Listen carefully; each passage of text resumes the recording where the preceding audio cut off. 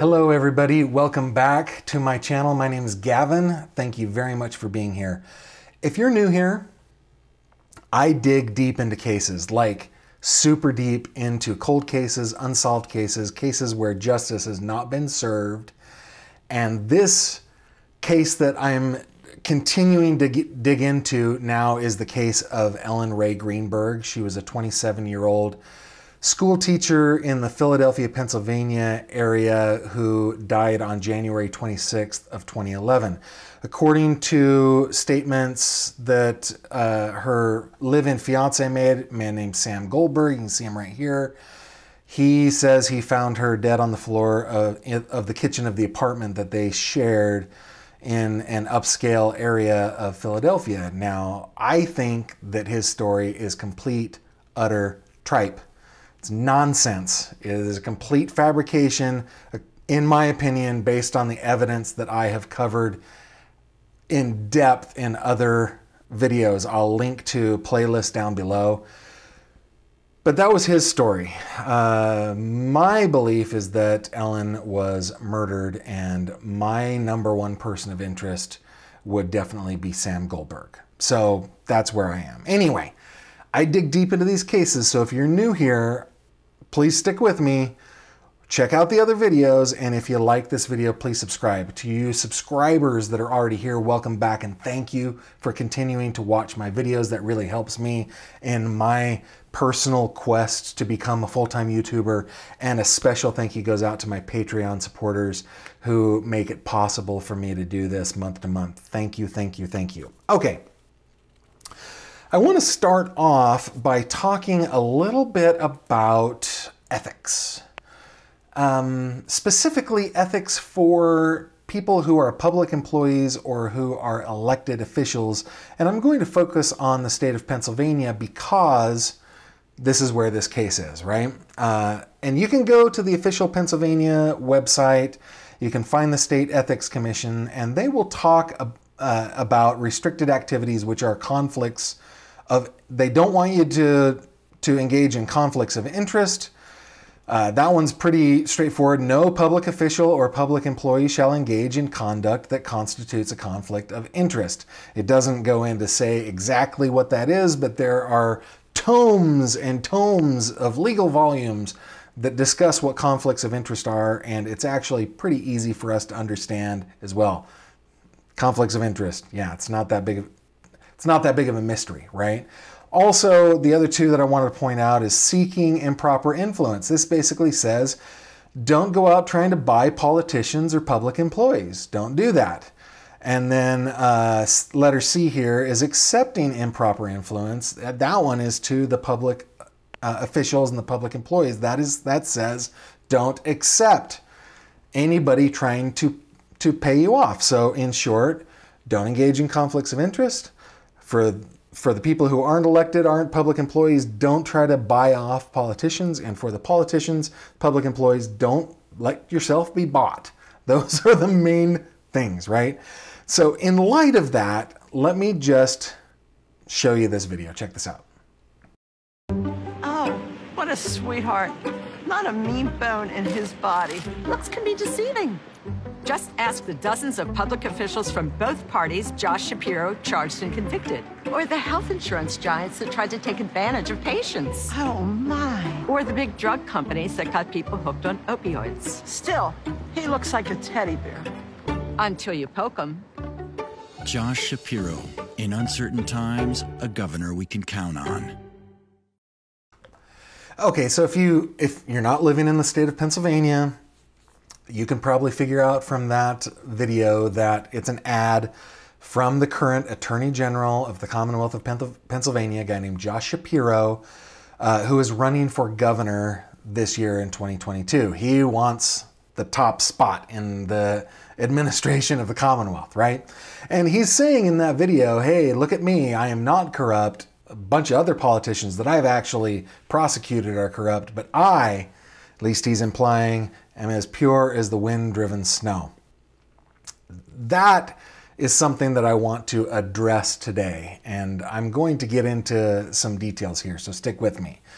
Before we do, let me let me kind of set the scene and go over a quick timeline of events. This is 30,000 foot view, okay? if you want more details, head on over to my website, to the Ellen Greenberg page, and you will find detailed details, including this amazing timeline right here uh, that the Greenbergs helped me put together. Okay, 30,000 foot view. Ellen died on January 26, 2011, and that on the next day after she had had an autopsy done. The medical examiner who worked on her, a guy named Dr. Marlon Osborne, uh, he he wrote his autopsy report and he ruled Ellen's death a homicide, but he did not make it official. Okay. Sometime after that, he was called into a meeting from a member of the district attorney's office, a member of the Philadelphia, Pennsylvania um, police department, and they convinced him that she couldn't have died by homicide. It was definitely a because Sam Goldberg, this guy right here, told them that he broke down the door to get in, that it was locked from the outside, and that he had a witness, a guy named Philip Hanton, that witnessed him break down the door. So, subsequent to that meeting, the medical examiner, Dr. Osborne, changed the manner of death from homicide to uh, he said she did it to herself, which is ridiculous but okay, 30,000 foot view. I'm going to stay focused. All right. The Greenbergs, shortly thereafter, you know, kind of smelling that this wasn't quite right, they hired uh, a man as an attorney. His name is Larry Krasner. This is Mr. Krasner. Now, when they hired Mr. Krasner, he was in private practice, but um, subsequently, he was elected district attorney in uh, Philadelphia. But okay. So they hire Mr. Krasner and then they seek out the opinion of Dr. Cyril Wecht. He is a pathologist that is well known within our community of citizen detectives and web sleuths, right? He, uh, uh, and he said, nah, this one stinks of a homicide, and you can look at his report on the website. Okay, so he delivered that report to the Greenbergs in January of 2012 the Greenbergs are kind of fighting with Mr. Krasner. They're not fighting with Mr. Krasner, but along with Mr. Krasner, they're fighting to get the Philadelphia, uh, you know, political machine to to see reason that it wasn't possible that Ellen did it to herself. It wasn't physically possible. And uh, they're getting nowhere. In about 2015, right around that time, a guy named Guy, named Guy DeAndrea, he was working in the district attorney's office. He was a prosecutor. He found the Ellen Greenberg file in a box, literally stuffed into a closet, and it was covered with Christmas ornaments. And he asked permission to look into the case. He was given permission to look into the case, and uh, he started looking into it. And he started interviewing people. And he he believed that Ellen Greenberg's death was a homicide whole time the Greenbergs are fighting this, they're trying to they're trying to make some type of momentum when Mr. Krasner in 2018 was elected as the Attorney General, not the Attorney General, I'm sorry, the District Attorney in Philadelphia. So he no longer could uh, represent the Greenbergs. And he then had a clear conflict of interest. He, the district attorney's office, who he had been fighting with on behalf of the Greenbergs for years now, couldn't couldn't continue to investigate the case because there was that conflict of interest. He had represented the Greenbergs. So, the district attorney's office in about 2018 referred the case to the Pennsylvania State Attorney General's office and went to Mr. Shapiro's office. We just saw what Mr. Shapiro looks like. Okay.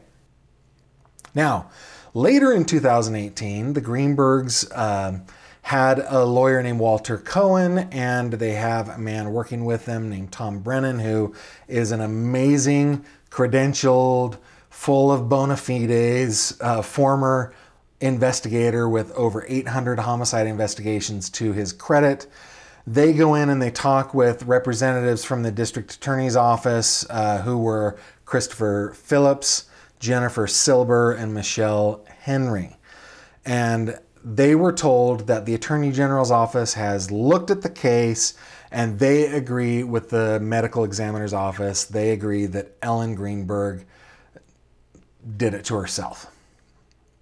And ever since then, from time to time, when there's been a little bit of headway in the case, when the Greenbergs filed a lawsuit, for example, or when there was a deposition uh, from a doctor who said, yeah, these, these wounds happened post mortem, things like that, the Attorney General's office would make public statements, usually through a press release, or if a if a reporter asked them, they would say, "No, we've looked at this closely. We still believe that Ms. Greenberg did this to herself." So that is the 30,000 foot view of this. Okay, but now if we can zoom in just a little bit, I want to talk about what happened on the day that Ellen died. This was January 26th, 2011. Um, Sam Goldberg made a 911 call at about 6:31 p.m. You can go to my website or to my channel and you can listen to the entire 911 call. But that's not the first call that he made. Uh, he made a call first to uh, his first cousin, a man named Kamian Schwartzman. This is a picture of Mr. Schwartzman with his wife Esther that I found on uh, Esther's Facebook page. So he called Kamian Schwartzman, and uh, he he made that call happen at 6:14 p.m. And then he started making a couple of other calls, and he missed a couple calls from Kamian's dad, a man named uh, James Schwartzman. This is James. Uh, he's referred to as Uncle Jimmy in the family, and you can see that he is in a robe. James is an attorney, as is Kamian, by the way. But James also has a position where he is a judge uh, when it comes to uh, disciplining other lawyers, right? So he missed a couple calls from Uncle Jimmy, but then Uncle Jimmy finally got a hold of him at 6:26 p.m., a full five minutes before um, Sam made the 911 call. Okay, that's pretty important. Now, at about 6:36, well, no, about 6:34 p.m. I'm going to show you some security footage here.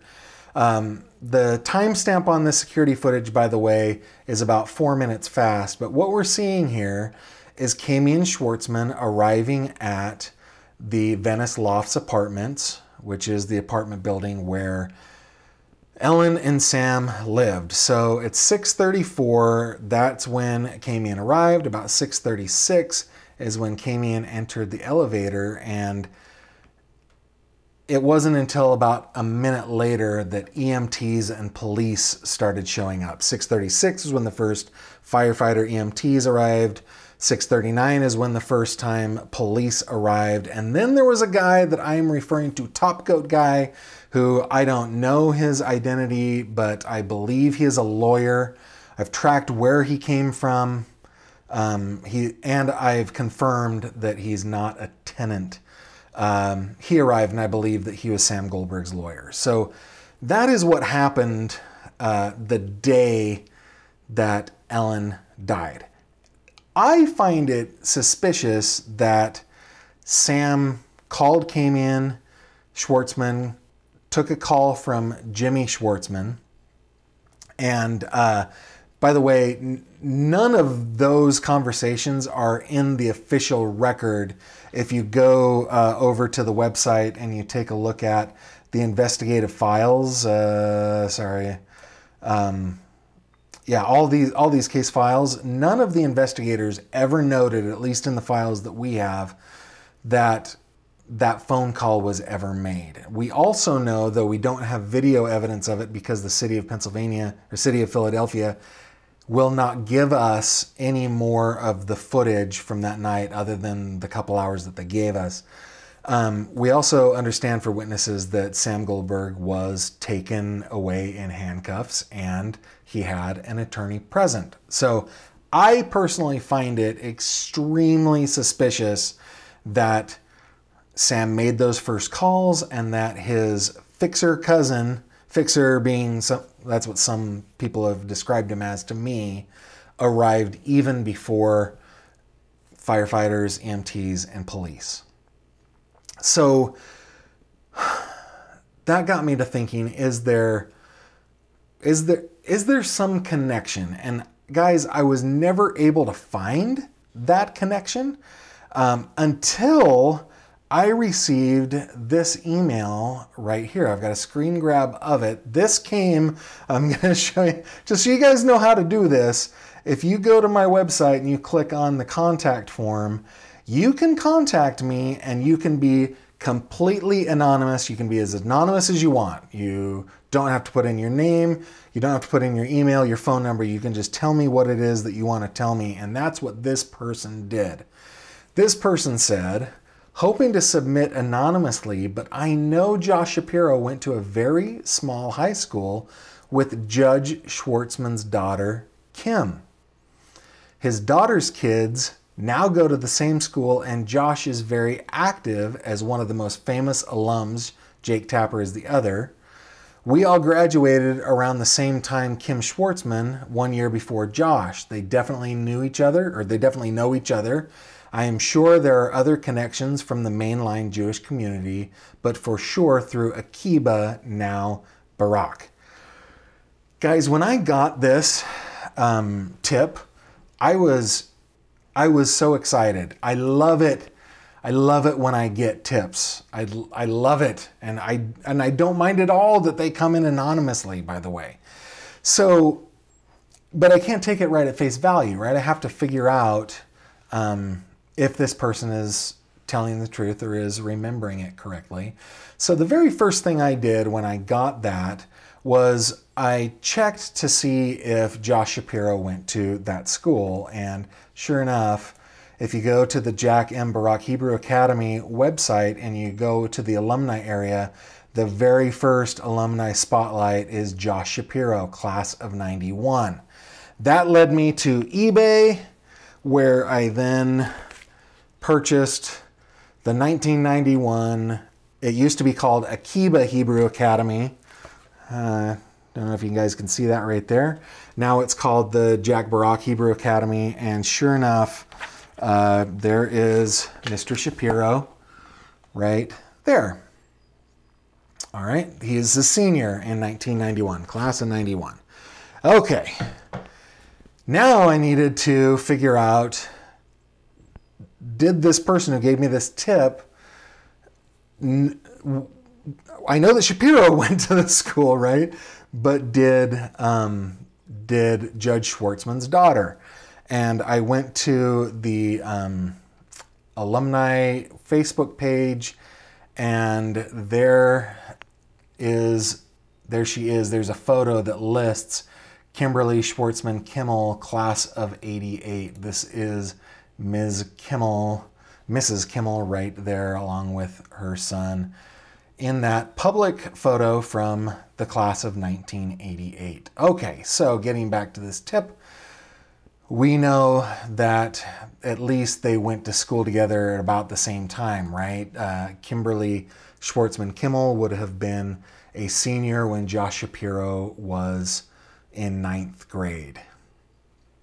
That doesn't necessarily mean that they know each other. It means that they went to the same small school together, right? So I started kind of looking at uh, other stuff, and I found actually, if you go to the um, uh, the alumni page, I think of the uh, Barrack Hebrew Academy, there is this photo right here up at the top, and so I'm gonna just kind of give you a. Um, let's see if I can find this here real quick. The alumni pic. There we go. So this is that entire photo, and in this photo, you can see Mr. Shapiro and uh, Kimberly Schwartzman Kimmel. Okay, so we know at least that they have been within uh, 10 or 12 feet of one another, but does that mean that they know each other? Because if they know each other, I think that we've got a conflict of interest here because um, that might mean that when Kamian arrived that night uh, to the apartment complex, and uh, started discussing things with Sam even before the EMTs or police arrived, it's possible that if he knows the Attorney General of the Commonwealth, or that his dad knows the Attorney General of the Commonwealth, that there is a conflict of interest that they know one another, right? So I wanted to see if there was any more evidence that they that they might know each other a little bit closer. And then I uh, found this photo. Um, it turns out there's Mr. Shapiro, and right to his left, that right there, is Kimberly Schwartzman, Kimmel. So uh, there they are, like touching elbows. And what I've learned is that they both have daughters on the same basketball team. They both have daughters on the same volleyball team. This, Mr. Shapiro and Mrs. Kimmel, they run in the same circles. And getting back to my anonymous tip, the anonymous tip said, I'm sure there are other connections from the mainline Jewish community. And I had, I wondered, what is the mainline Jewish community? I had to look it up. I actually asked a friend of mine. Uh, and this is a good place to pause, by the way, guys, because I have made a friend who is a producer at um, 2020 at ABC News. Uh, she happens to be of Hebrew heritage as well. And so when I have questions about Judaism, uh, I ask her. She, she tells me all about it. And I said, What is the mainline uh, Jewish community? Oh, but before I move on from this, uh, I made, when I started telling her about these connections, she became very, very interested. And so I just want to pause here for a second, guys. Not only am I interested, but um, a producer that I'm working with at 2020 is also very interested. So if you happen to know anything about the connections between the Schwartzman family and uh, Attorney General Shapiro, please reach out to me on my website. Go to my website right here, go to contact me right up here, and um, and you can be completely anonymous. And I'm going to share that with my friend at 2020. Anyway, when I talked to her, her words to me were rich white Jews, mainline Jewish community. So when we look at it, the main line in Philadelphia is the area of Philadelphia that is an historic area. It's extremely wealthy, and a Hebrew, Hebrew Academy is right there in the main line. So uh, people who are of Hebrew descent, they send their children, if they can afford it, to now what's called Barrack Hebrew Academy. And um, so so that that sentence they have other connections right? So we know that they're connected through the school. And one of my suspicions is you know is it possible that they're trading favors by maybe giving donations? Uh, could the schwartzmans or the goldbergs or the extended family be donors to mr shapiro i want to show a quick little uh, kind of rough sketch of the uh, the family um, down here in the lower right where the three squares are you that's where you can see Sam Goldberg in the middle uh, when you go up his parents are Richard Goldberg and Mindy Hankin and then Mr. Schwartzman is married to Mindy's sister Nancy and then Kamian and Kimberly are, are their children. Now, the thing that I want you to remember here, though, is the name Hankin is a very long-standing, wealthy member of this mainline Jewish community. Uh, they have apartment buildings. They have uh, commercial uh, real estate holdings. They they have they they have so much money, guys, that um, that they have the ability to influence politicians in a way that is restricted uh, over here on the State Ethics Commission uh, section 1103 uh, B and C, right? They are they're not supposed to do that, of course, but they probably have the ability to do that. And so I did a little bit of looking into to see if there are donations. And um, yeah, I found donations. Uh, if I if we go to followthemoney.org, we can see that this is Kimberly Schwartzman Kimmel has donated to her one and only candidate is Josh Shapiro. Her husband Wayne has uh, donated to a lot of uh, candidates over the years. Uh, Mr. Shapiro's at the top of that list. If we go back to uh, the Goldberg family, this person, Richard Goldberg, right here, uh, that's Sam Goldberg's dad. Uh, he has donated to Mr. Shapiro. Uh, though it, it's a small donation, but it's definitely a donation. Uh, he has done it twice. Once was in a House uh, race, and once was in the. Um, I think actually they were both in House races. And then here, the Hankin Group. Um, they have. Let's see. I had to. I had to really look through here, guys. Uh, but uh, Mr. Shapiro is right there as a recipient of money from the Hankin Group. Now, you guys are going to probably be asking, maybe you're saying, it really wasn't that much money that you added up there, Gavin. Was it less than $10,000? Um, the answer is yes. Uh, it's just about $10,000 that I found um, in my original cursory search. But it's not all that I found. So, I guess what I'm saying here is that Josh Shapiro. Let me, uh, let me. Well, I was going to show you the ad again, but you guys have seen it. Josh Shapiro, who claims that uh, he is above reproach. Oh, wait a minute.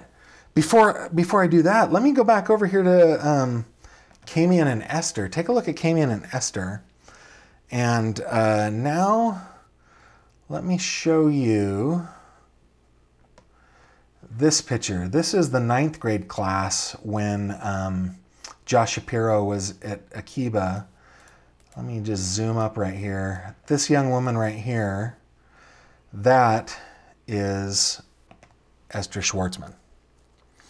So not only do we have connections through the Schwartzman family, but we have connections through uh, Esther's family. Uh, her name was, um, let's see, I think it was Esther Alexander. Is that what it was? The Alexander family? Let me take a look at that. Uh, where is that? Let me go back over here so you guys can see what I'm looking at. The middle row. Yeah, Esther Alexander. And that is, that's her right there. So there are connections to this family. Now, is it possible that Josh Shapiro is not aware that Kimberly Schwartzman, who he is seen shoulder to shoulder with in this photo, is it possible that he doesn't know that Kimberly is related to Kamian and that Kamian uh, was the person that Sam Goldberg called and arrived before police, and that uh, James Schwartzman, uh, talks with Sam Goldberg before Sam Goldberg ever called 911? Is it possible that Josh Shapiro doesn't know this or hasn't made the connection? I mean, I guess it's possible, but I think it is not likely. It's highly improbable. And the fact that he's accepted money from these people, from the Schwartzmans, from the Hankins, from the Goldbergs, to me, that screams, guys, it screams conflict of interest. This right here, where uh, no public official or public employee shall engage in conduct that constitutes a conflict of interest. And I, I'm certain that this is a conflict of interest for Mr. Shapiro what I suspect is that he is probably in violation of sections B and C of the statute as well. So, I guess my question to you is what do you think? And what can be done about this? Now, um, you guys are probably like, well, he's running for governor. This is a hit piece on Mr. Shapiro. Guys, I, I will give you a sneak peek into the politics of Gavin Fish. I keep politics out of my my channel for very good reasons, but I'm just going to give you a sneak peek into the politics of Gavin Fish. I am neither a Democrat nor a Republican. I am neither planning on voting for Mr. Shapiro or the Republican that's running against him, Mr. Mastriano. I have no dog in that hunt. I'm not going to vote for either one of those people, those candidates. You guys vote for whoever you think you should vote for if you're in the state of Pennsylvania. This is not a hit piece on Josh Shapiro. My point in all of this is that Mr. Shapiro's office should not have this file at all, and I believe that they know it. This file, this investigation, should be passed on to another investigative uh, office. And it can't be any office that is below the Attorney General's office. It needs to be some kind of special prosecutor who is not beholden to Mr. Shapiro. And if Mr. Shapiro wins the election and becomes governor of the Commonwealth of Pennsylvania, that's going to be extremely difficult, right? Within the state of Pennsylvania, he's he would he's one step above the chief law enforcement officer. Like right now, he's the chief law enforcement officer of the state. If he's the governor, then yeah, it has to go to a special prosecutor that might be on a federal level or something because there is a clear conflict of interest. There is a clear appearance of the impropriety of accepting money and giving favors. I'm not saying that it happened. I'm saying the appearance is there and that is enough. Mr. Shapiro's entire office should get rid of this, not get rid of the case, it should hand it off to another investigating agency because of that conflict of interest. I would love to know what you guys think. Please put it in the comments section below. And uh, my next video, at least on the Ellen Greenberg case, is going to get into the brief that was filed by Mr. Podraza on behalf of the estate of Ellen Greenberg. Um, i will give you a sneak peek into this one, guys. I believe, after speaking with Mr. Podraza, that the uh, strategy that the state of Pennsylvania is, well, the city of Philadelphia is employing here is one of delaying. Uh, just by appealing this um, this decision that was made by the trial judge, um, they've probably delayed the trial by about two years. And my guess is that if they lose their appeal, they'll probably appeal to the state Supreme Court. So um, the state of, Pen- of Pitt, Philadelphia is acting so unethically in this whole thing and I'm going to get into the brief that um, that Mr. Podraza filed on behalf of Ellen's parents. That's my next video on Ellen Greenberg. My next video on uh, the case of David Scott Elmquist is also coming up. In that one, I will be going over the day of uh, of Mr. Elmquist's death. So uh, please subscribe if you want to see those videos. If you like this kind of content, please hit that thumbs up and share, share, share, guys. This this information should just get all the way around the state of Pennsylvania. People should know this that Mr. Shapiro has a clear conflict of interest. With that, I shall bid you adieu, and I hope to see you next time. Take care. Thank you very much for watching this video. If you liked what you saw, please subscribe to my channel. And if you have any comments or questions, please leave them below.